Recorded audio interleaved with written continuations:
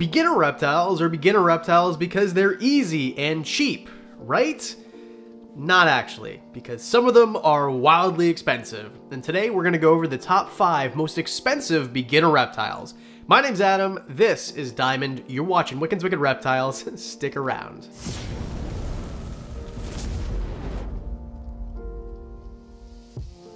So let's be clear, we're talking about the most expensive beginner reptiles to house, simply because uh, buying beginner reptiles generally isn't that expensive in the first place. Of course, these animals could be cheap to buy, most of them are, but some of them will actually be very expensive to buy as well, simply because, well, I mean, morphs, right? The genetics play a big role in how expensive the actual animal is. So with number five, for example, there's a bunch of different morphs out there. Some of them are gonna be $40 for a normal or wild type, and some of them are gonna be literally thousands or even tens of thousands of dollars. So anyway, genetics or genetics genetics. Let's not talk anymore about that, except for right now. Now, there's a little bit of talk about genetics in this video, and I kind of got wondering about my genetics. So I partnered with MyHeritage for today's video. The objective is to figure out where I came from, figure out things about my heritage, and maybe find long lost relatives that I didn't even know were out there. And also, it takes like two minutes, literally. One cheek swab, you throw it into a vial, put it in the packaging, send it back in the mail.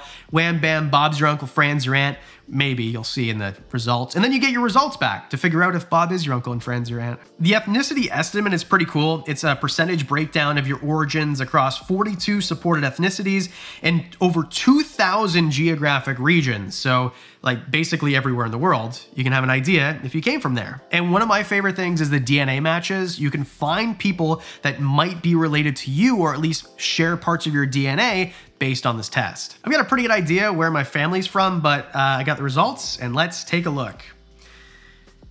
Wow, okay, no, I was not expecting that. So you're gonna learn a whole bunch of stuff about yourself that you might not have known before. I didn't know that I was 2.1% Italian. There's no Italian in my family. I can't suntan any time of the year. I get sunburns in March. Well, I guess that's explained by the 65% Irish, Scottish, and Welsh, so that makes sense. So it turns out I'm all sorts of European, which is pretty cool because I've got some European trips that I'd like to do at the end of this year, and because I can figure out maybe some family members that I might not have known that I have before, maybe I can reconnect with them thanks to MyHeritage. And the big thing for me is you're not sending your DNA into the government. They do not share your DNA anywhere. And your privacy is paramount, and that's another reason why I chose MyHeritage. So if you'd like to see your background in a little bit better detail, go to the link below and use the discount code. You'll get free shipping and as an added bonus, you can start a 30-day free trial of MyHeritage Best Subscription for Family History Research. And enjoy a 50% discount if you decide to continue. All right, all right. So number five, BCIs and BCCs, we're talking about boa constrictors. If you get a BI, boa imperator, or boa constrictor, it does not matter. They're gonna get seven foot, eight foot, nine, 10, 12 feet sometimes, even bigger maybe. Now, generally, you're gonna see them right around the eight foot mark, maybe a little bit on either end. I guess I should clarify because technically a Hog Island boa, which only gets to five feet, is a BI, and they'd make a fantastic pet. And the reason that they would make a fantastic pet for beginners and maybe a larger version isn't is because they're bigger. They're just bigger, which means they're gonna cost more, which is the whole point of the video. You're gonna need to keep these things in likely an eight foot long enclosure if you really wanna give them the best life possible, which I do.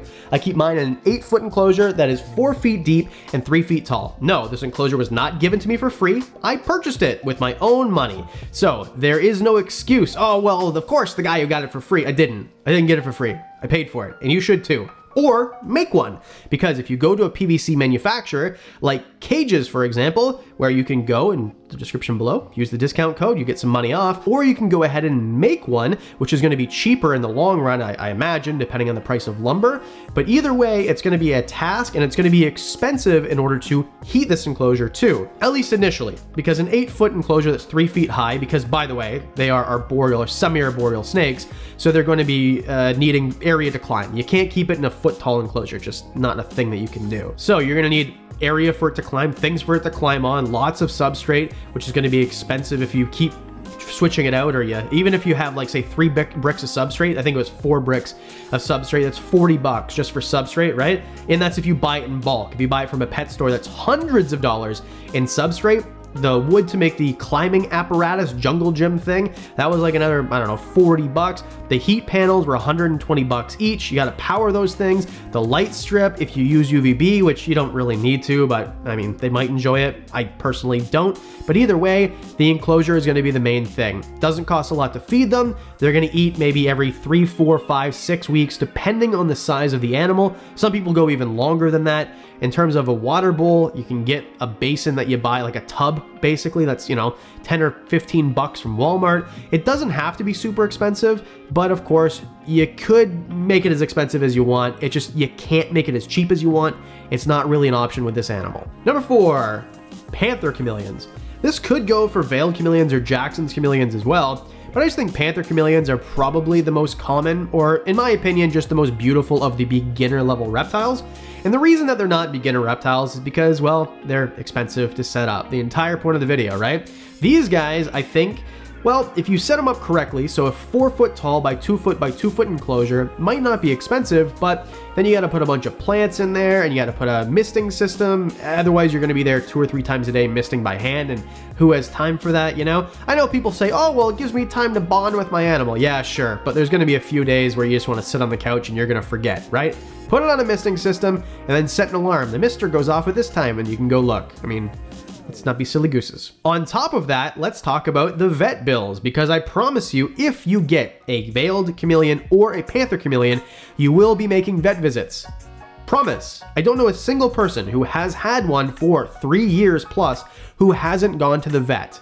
They've either not gone to the vet and have dead chameleons, or they have chameleons that are thriving past three years and they've been to a vet. Period. That's just it. It's going to happen. You're going to need to go to a vet with these animals because they are more fragile or at least they're more difficult to take care of than most other animals and certainly past a beginner level stage in my opinion. If you disagree, whatever. I mean, it is an opinion thing. Some people dedicate their whole lives to chameleons and they think that they're great and they're just right for them. But these are 1% of the population of reptile keepers. It's just not a real common thing to say that. On top of that, time constraint. I mean, if you really do want to mist your chameleon daily by hand, I don't know why you'd want to do that, but I mean, you got to go down and do that two or three times a day. You got to feed these things by hand, some of them, not all of them. A lot of chameleons will learn to eat out of a dish or like a modified dish, but some of them will only eat if they're tongue fed. That's something as well. And of course, changing up the uh, enclosure, changing the UVB. The UVB has to be changed every six months. That can get expensive. Overall, I don't think these are a beginner animal at all, and even if they were, they're definitely one of the most expensive ones that you'll find on a beginner reptile list. Number three, Chinese water dragons. Goodness gracious, I can't believe I still see these for $40 in pet stores. It makes me sick because these animals are going to get big. These animals are not going to be a foot long, cute little thing. No, these animals need a big enclosure. They need height because they're semi-arboreal and they need room to swim. Not soak, but swim. So these animals need a much larger enclosure than most animals their size. Period. I will die on this hill. They need huge enclosures. If you don't believe me, go to an expert in Alex's Agamemnons or somewhere like that, and they will teach you how to take care of these things correctly because I don't have one. The reason I don't have one is because I don't have the space for an animal that I'm really not that interested in keeping myself. They're amazing, sure, but I'm not interested in making a seven foot enclosure that's six feet high or whatever. I mean, maybe this is overkill, but you get the idea, right? Something really big that takes up a lot of room when I could have animals I'm more interested in, hognose snakes, corn snakes even, African fat-tailed geckos, Fiji banded iguanas, and I can have all that stuff in the same footprint or the same area that I could have one Chinese water dragon. So that is why I personally do not keep them and why I think that they are not a beginner species. Most people can't regulate temperature, humidity, and water for an area that big. And these animals aren't the most handleable thing in the world. I mean, this is getting outside of the scope of cost, but an enclosure is gonna cost you thousands of dollars if you buy one, at least hundreds to make one. It's going to be quite a bit to learn and uh, pay for the filtration system for the water, plus all the branches and stuff. They're not the hardest things to take care of once it's set up like that, but it's not going to be cheap, period. Number two, an obvious one that you might not have thought about, sulcata tortoises. I can't believe the third biggest tortoise in the world, I mean arguably, is always on a beginner list. Like, I get it. In the US, these things cost they'll pay you to take them in some cases, right? They're free everywhere. If you live in Arizona, you see them at rescues all the freaking time, right? I mean, in some places in the north, they might be more expensive. Here in Canada, they're, you know, a couple hundred bucks to buy. But either way, no matter how you slice it, a big tortoise that's gonna be 100 pounds plus good luck keeping it inside, first of all. So if you do keep it inside, then you're gonna have to build quite the enclosure for it. You're gonna have a lot of heat and UVB elements because it needs heat and UVB and it needs a huge space to roam. And even if you do keep it outside, well, I mean, this is very little of you because most of you don't live in a climate where you can keep your sulcata tortoise outside year round. And I know I'm gonna get comments, well, I do, sure, you do, but most people don't, period. Most people live above the area where you can keep them outside all year. Even places in Florida will take their sulcatas in, although Florida maybe not the best place. You get what I'm saying, right? People in climates that are warmer will take them in when it gets too cold. So if you're someone that lives in a place like me, where eight months or at least seven months of the year, it's too cold to have them outside, where are you gonna put them? You're gonna have to build something wildly expensive. They aren't the cheapest thing to feed if you live in a place where it's expensive to buy their food. If you're not getting, you know, the grocery store handing you the leftovers or a livestock supply place with a really good deal on food, you're just gonna be, they eat a lot. I mean, it's a big, big tortoise to eat a lot. And of course, they're gonna ruin whatever grass that you put them on if you have a place in your yard. So no matter how you slice it, they're not for beginners and they're super duper expensive, even if they cost you nothing. Like literally nothing to buy. And number one, green iguanas. Now I thought we were past the point where we were talking about these as beginner reptiles, right? I'm a 90s kid, all the time in the pet stores, that's what you saw, you know, iguanas. Yeah, go home and stick in a 20 gallon, eh? No, that's not something you can do. These animals get up to five feet, so they need a big enclosure because again, they're an arboreal species.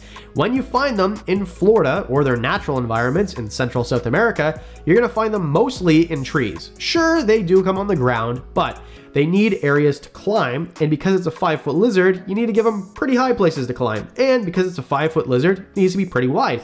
And because it's a five foot lizard, needs to be pretty deep. So you need a big enclosure that's gonna hold humidity, so bird cages generally don't work unless it's very humid in that spot in your house, and they're gonna need UVB, and they're gonna need heat. Good luck. This is always more expensive to heat and regulate the atmosphere or the habitat in a larger enclosure than a smaller enclosure. These guys are gonna be expensive for you to house. Now, feeding them, they eat, well, vegetables and fruits. And anyway, this is not care guide. They are herbivores. I don't know what groceries are like where you live, but I live in Canada, where uh, grocery bills, we have to remortgage our houses in order to eat nowadays.